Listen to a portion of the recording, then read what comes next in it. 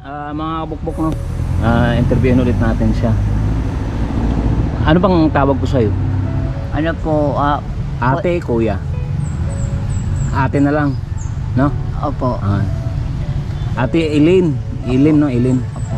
Um, ano ba ang nung bata ka? Nung bata sabi mo, 'di ba? Um, sabi mo 5 years old ka. Yung uh, ano yun, lumayas ka ba? Kasi nangalakal ka ng 5 years old eh. Ano po, Ano, pina- lumayas ka ba o ano? ano po, ah, ano po pinalas po ako ng mga kapatid ko po sa bahay po namin. Ano po, ah, kasa, kasabi po ng mga kapatid ko kasi, ano ko, wala kaming, kap, wala kaming kapatid na ganyan na bakla tapos nangangalakal pa. Sabi ko, sige, sige kung hindi niyo ako matanggap na kapatid niyo ko, ako lang, a- ako lang alisin po sa, ba, sa, sa bahay po namin. Tapos, ano, sabi, bahala ka kung, bahala ka kung, kung, kung ka sa bahay. Yun, ayun po, lumas po ako sa bahay po namin. Tapos, ano, pag, paglayas ka po sa bahay po namin, nag, nagdala po ako ng mga, ng mga damit ko kasi, kasi po, ano po, may po maglas na, na wala pong damit na susuotin araw-araw. Mm. Tapos, tapos pag may nakita po akong tambak ng basura, nag, nag, nagkakalkal po ako ng basura, nag, nag, nangangalakala po ako sa basurahan. Mm. Tapos inalo ko po yung kalakal ko, pin- pinaparami ko bago ko bago bago ko ibenta. Ah. Tapos tapos pagbenta ko ng kalakal ko, bumibili po ako ng pagkain ko, bumibili po ako ng bigas, ulam, Mm. sabon, tubig Ah. para pa, pa hindi man ako magutom kung ano. Sa murang edad mo na hindi ka ba natakot noon na lumayas ka sa, saan ka nakatira nung lumayas ka? Sa ano lang din, sa tabi-tabi lang din. Opo. Ah. Tapos, tapos naghanap ako ng mga, yung mga lupa na, yung mga lupa na bakante muna, pa, para doon muna ako tumingin sa, sa lupa na bakante. Mm. Tapos halibad, halibad kang, halibad kang gagamitin niya yung lupa. Siyempre, napasin ako ng may-ari ng lupa. Tapos yun, tuloy-tuloy na yung ano mo, kung saan-saan ka nakakarating. Opo. Mm, Ano yung pinakamalayo mong narating? Dito po, sa Antipolo. Pero saan? Taga saan? Taga saan ka pa talaga? Taga Pasig po. Ah, Pasig. Na may, sa may, sa may palengke po ng Pasig. Sa palengke ng Pasig mismo. Opo.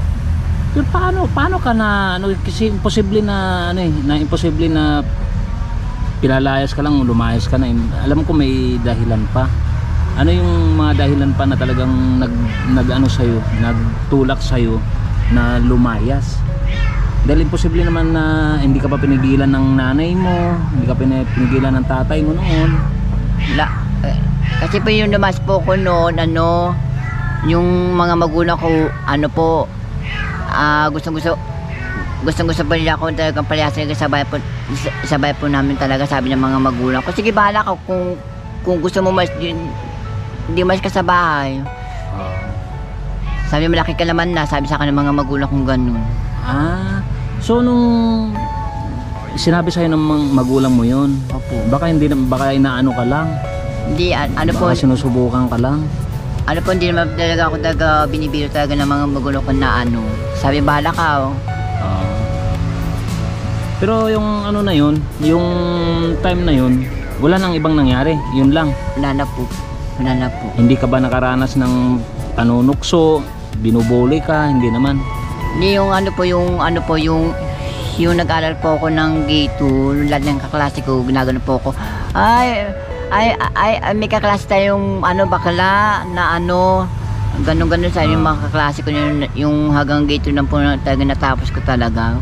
Ngayon po yung pag-aaral ko, hindi ko po na hindi ko pa napatuloy pag-aaral ko. Kaya kaya po bumagsak po ako sa pangangalakad po ngayon. Mm. Pero yung ah, sinasabi mo na, ah, di ba, ah, binubuli ka, ah, ilang taon ka nun?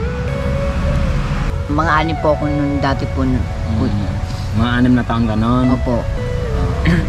Tapos nung ah, sinabi ng magulang mo na ah, sige umalis ka dito, ah, hindi ka ba nila hinanap noon? Wala po, wala po sa akin nagan, nagan talaga po kuya eh. Mm. Sabi ba, mahal, Naku, mahal na kayo, huwag nyo na hanapin yung kapatid nyo ng bading na yun. Oo. Ah, hindi ka hindi ka nila tanggap Opo, na, na ano, na na, bading ka. opo. Ah. Pero yung ano na yun, ah, bakit ah, alam ba nila na bading ka noon? Opo, O kasi talagang ano po bata talaga. ka pa lang. Bata ka pa lang talagang bading ka na. Opo, ah, ano po, muna lang, muna lang pinanganak po ako ng nanay Ganun talaga po sabi ng nanay. Ay, may anak akong ano, binabae. Ah. Sabi po ng nanay ko sa tatay ko. ah. Naku, eh, yung tatay ko naman po, alam mo, alam po na, ay, Ayaw niya na may Na- na may- yung anak niya. opo, ganun na po. Ah, kawawa naman. Kawawa naman yung ano mo, hindi ka tanggap ng magulang mo dahil bakla ka. Naging bakla ka, no? Tapos pati yung mga kapatid mo, hindi ka rin tanggap dahil isa ka rin bakla, no? Tapos yung mga kaklase mo rin noon, lahat ng tao hindi ka tanggap dahil isa kang bading.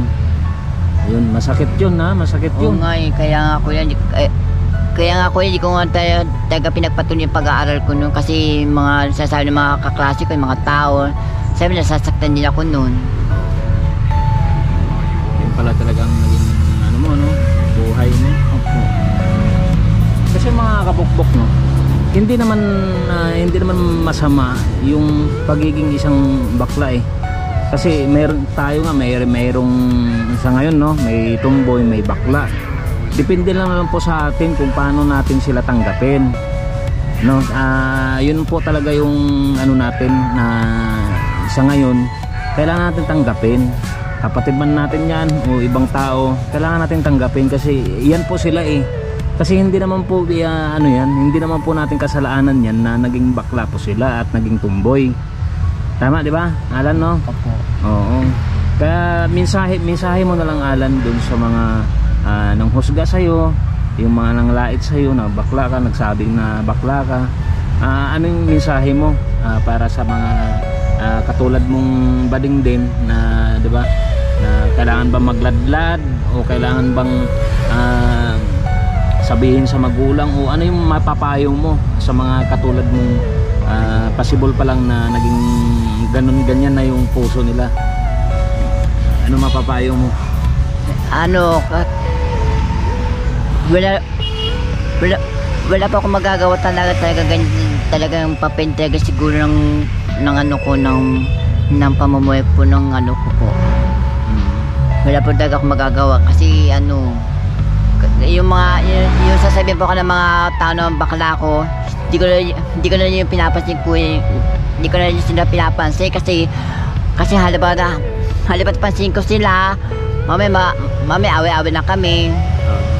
Kaya ano na kaya hindi ko na sila pinapansin, pinap, hinayaan ko na sila na, na, natawag nila akong bakla, na ganun. Hindi ko na hindi ko na sila pinapansin. Hinayaan ko na pa sila na sabihin nila ako ng bakla na ano.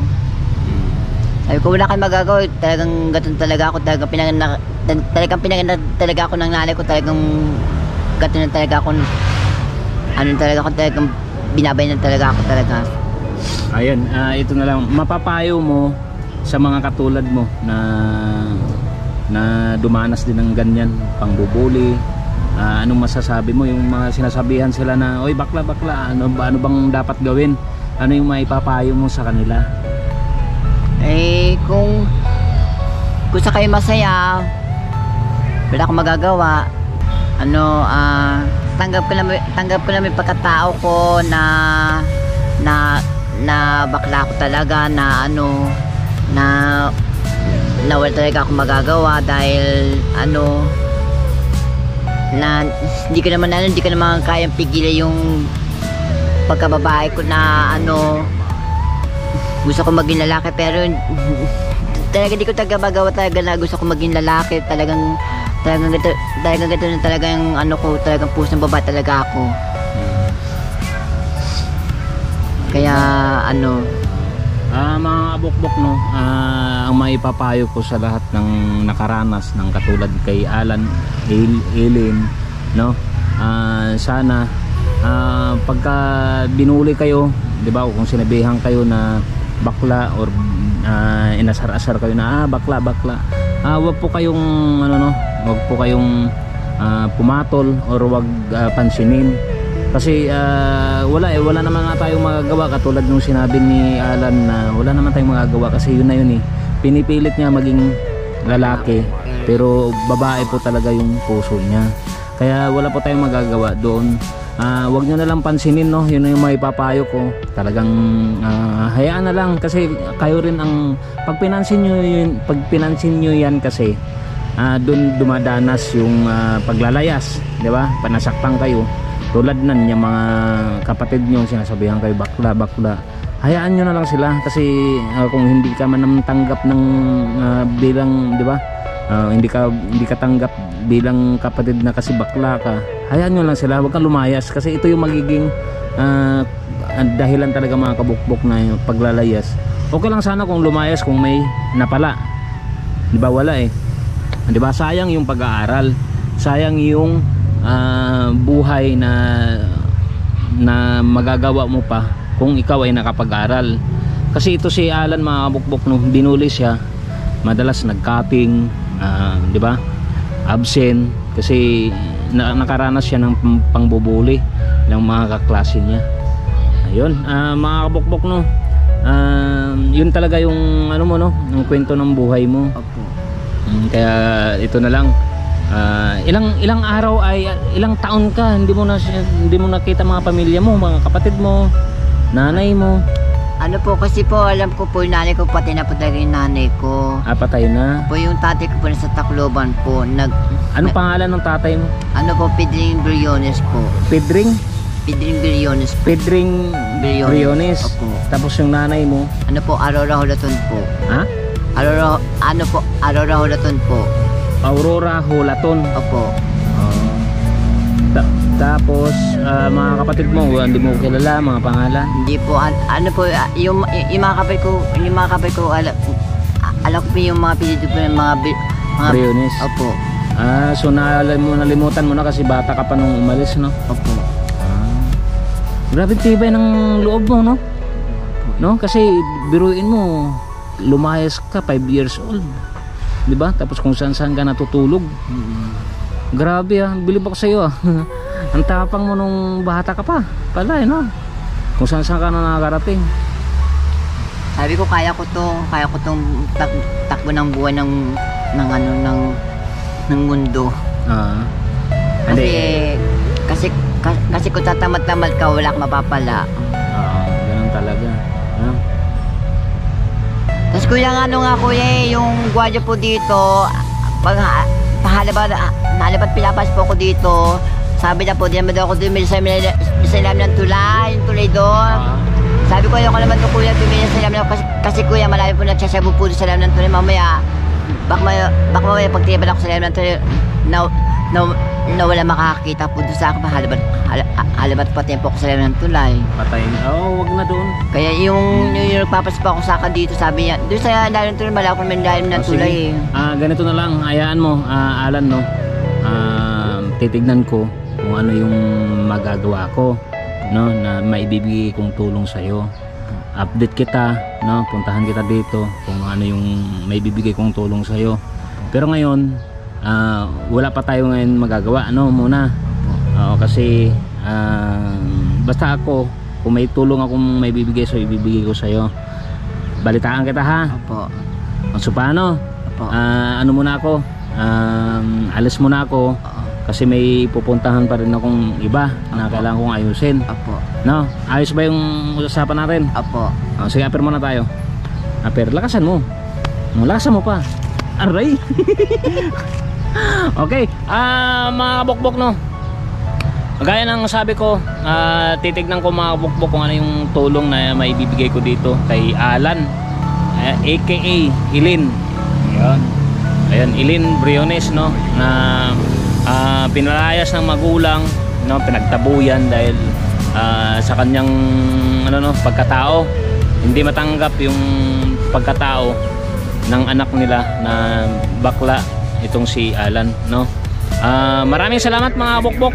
Ah, hanggang dito na lang mga kabukbok. At um, I love you all Ah, congratulations sa ating mga kabuk mga, mga kabukbok no kasi 10,800 mahigit na po tayo kaya maraming maraming salamat I love you all mga kabukbok bye bye, bye, -bye. muna Alan. Bye-bye po. Bye-bye. Ano ka lang ha, um, sa bagay matatag ka na. No, matatag ka na. Ah, kasi biruin mo, nagmula bata hanggang ngayon, 49 years old ka na, ay 48. Opo. Oo, 48 years old ka na. So, nanatili ka pa rin matatag. No? Oh, sige. Alan, paalam mo na ha. Babalikan kita. Okay, bye-bye. Salamat po. Okay, thank you.